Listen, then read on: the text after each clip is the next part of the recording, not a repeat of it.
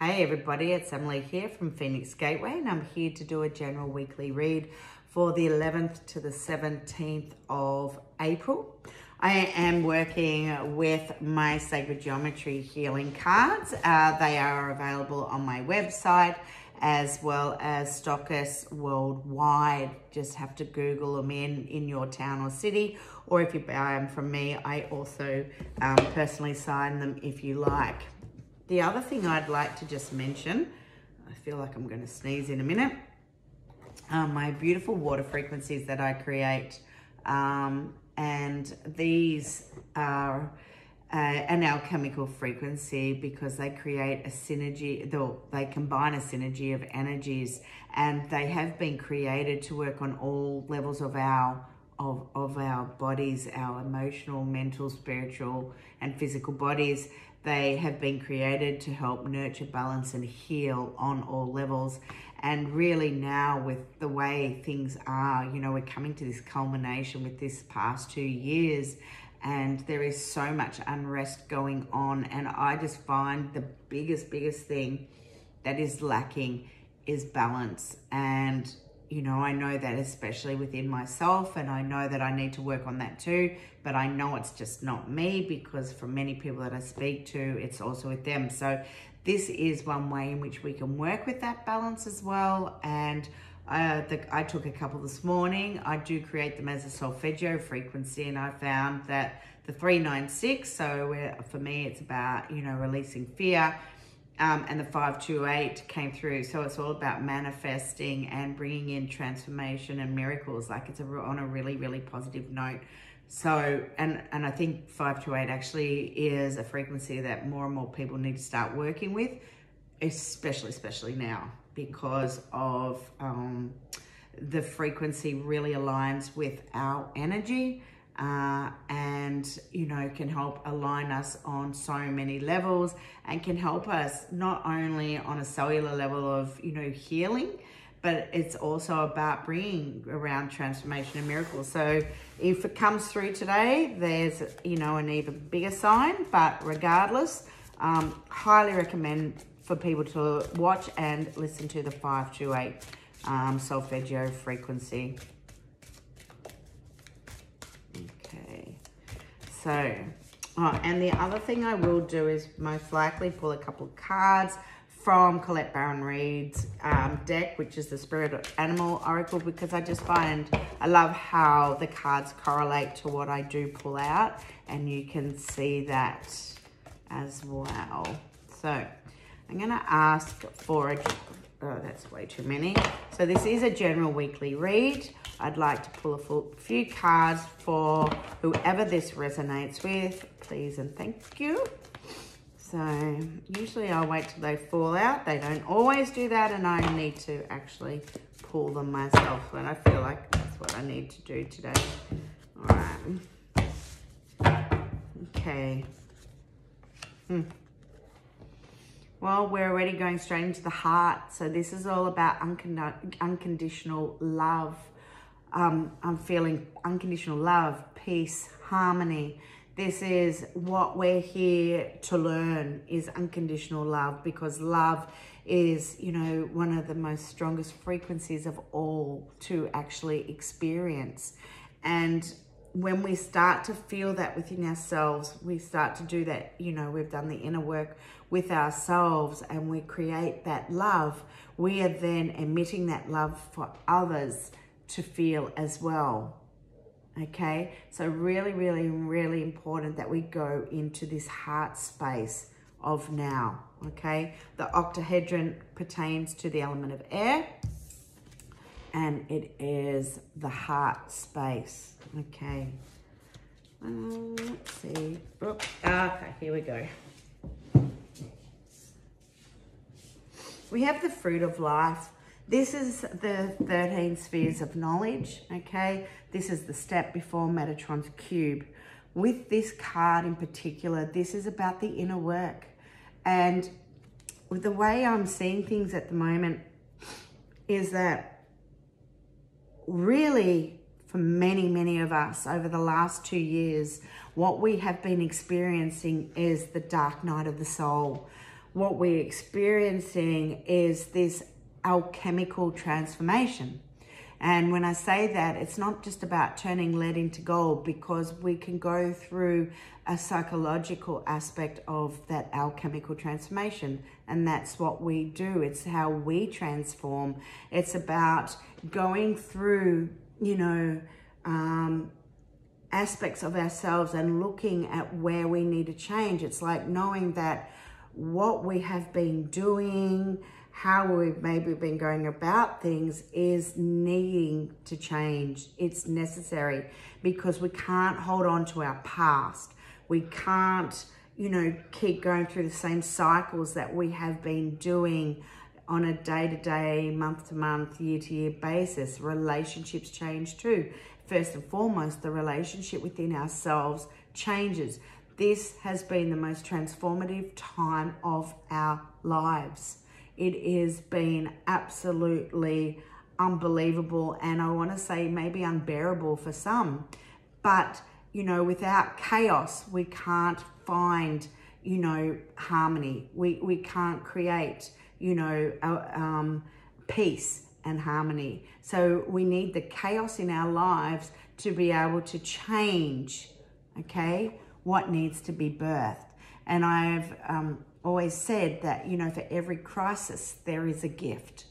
And there is a gift that awaits. It's, an, it's a gift for many of consciousness. It's that awakening, the awareness that we are now heading towards. It's that understanding of what love is truly about and it's hard, you know. Change is bloody hard. Um, it just doesn't come naturally to most of us because we we like our creature comforts. We like, you know, for many of us, we honestly we play a victim role, whether we consciously or subconsciously do it. Where we we stay in a role that continues um, the same story, and it's now that we have to go. You know what? no more. We need to change. We need to bring in harmony on all levels. This is the solfeggio frequencies, the ancient sound frequencies, the purest of um, sound and frequency. This is what you need to listen to. Not the music of today that was changed. Music of the A note is now at a 440 hertz, okay? That was changed many, many years ago to put sound off balance, which when we start listening to things that are out of out of balance, we're out of balance. A note should start at a 432 hertz, that universal frequency. And there are some musicians out there that are very, very aware of this and they actually do do it, okay? Let's pull a few more cards.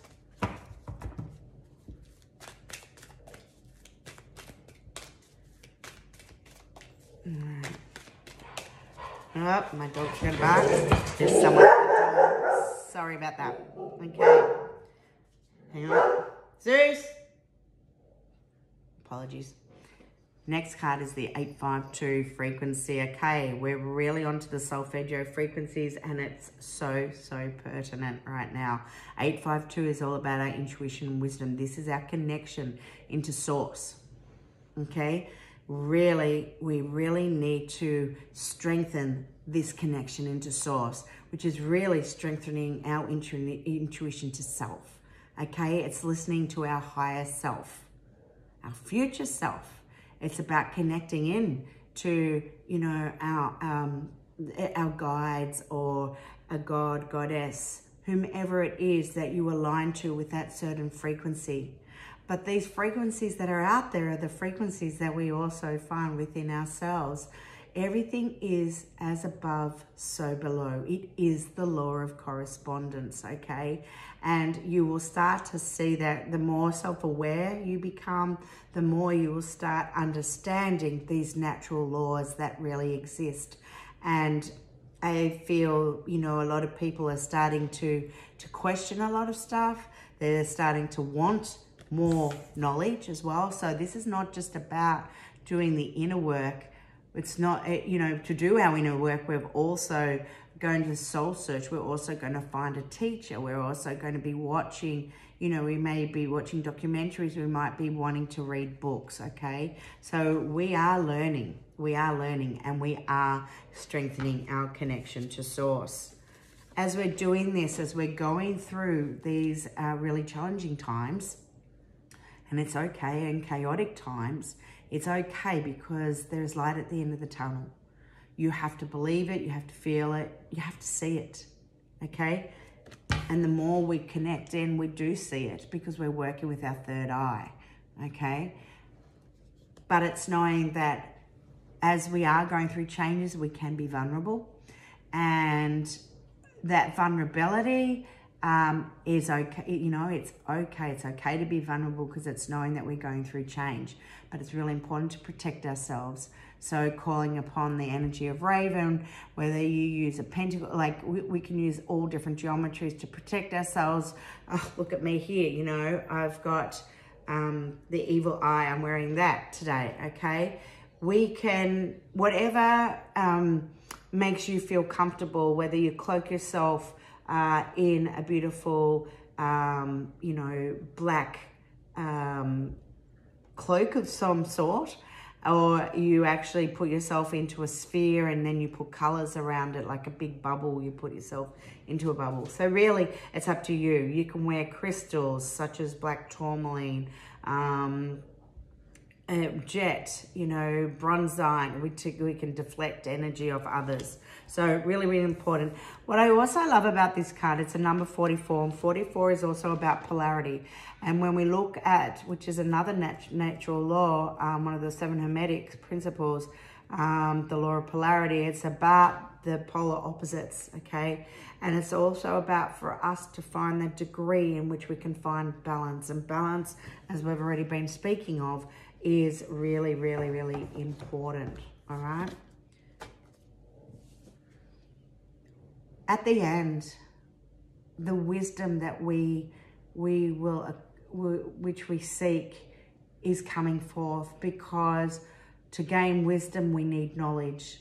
And to gain knowledge is to gain power look for this sign. Maybe owl is one of your totems. Maybe you start seeing owl, but you can work with the energy of owl. You can call upon owl, okay, to help guide you. They can help guide you from that darkness into the light, all right? And interesting enough, the bottom of the deck, foundations.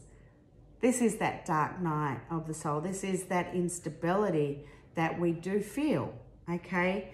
Protection also.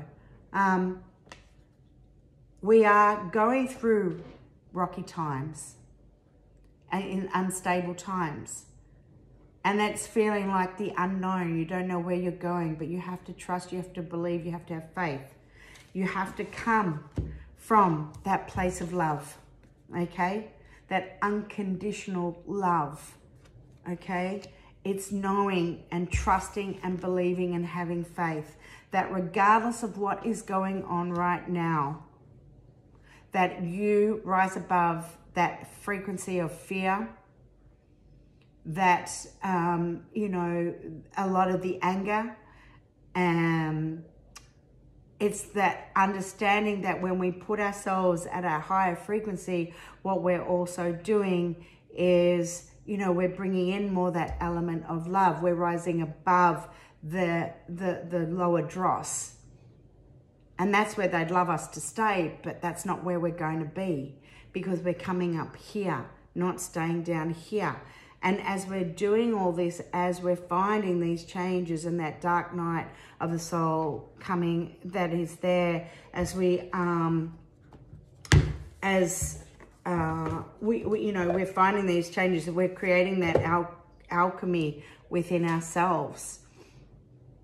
Um, things are changing and, and they're happening for good. They're happening for positive reasons.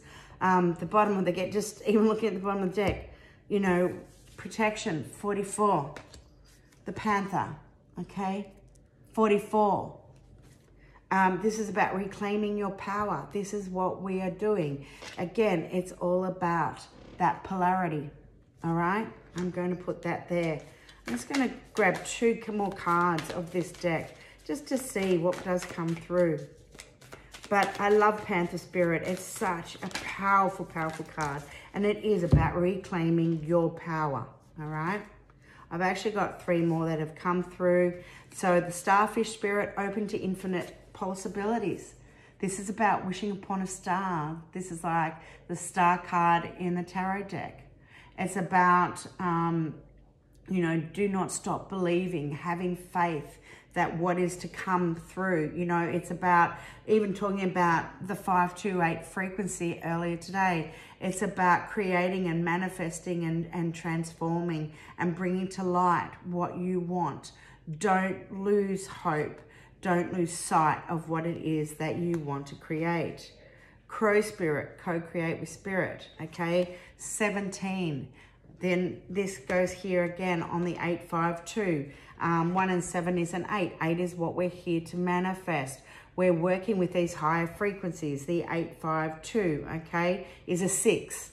All right? Again, 6 is pertains to our heart, but we're working from that higher heart aspect.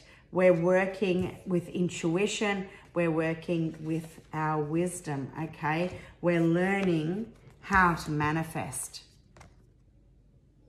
And we're, you know, we're, we're keeping clear and focused on our, on the end goal. And it's all coming with pure, unconditional love. All right. And Groundhog's Day, perfect to end it, okay?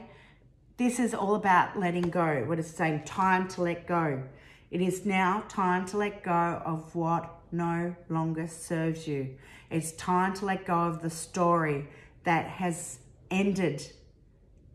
It is time to create a new story, a new happy ending, and bring in a lot of new energy within your life that involves a shit ton of love and happiness and health and prosperity. But only you can do that because it will occur as you create the changes. Create the change when you change the way you look at things, the things you look at change, which is a Wayne Dyer um, quote that I've used a number of times over the years. Okay, he's just one of many. A really beautiful reading. Um, you know, it's okay. You're coming to an end now. We're coming to the end. We're bringing forward these changes. It is coming. Got to keep doing that work on yourself. Um, see the ending. Do not lose faith or hope of that of um, of what is to come, what it is you're you're manifesting. Uh, keep clear and focused on that. Have a beautiful week. Um, wherever you are in this world, don't lose faith, don't lose hope. I love you and speak soon. Bye for now.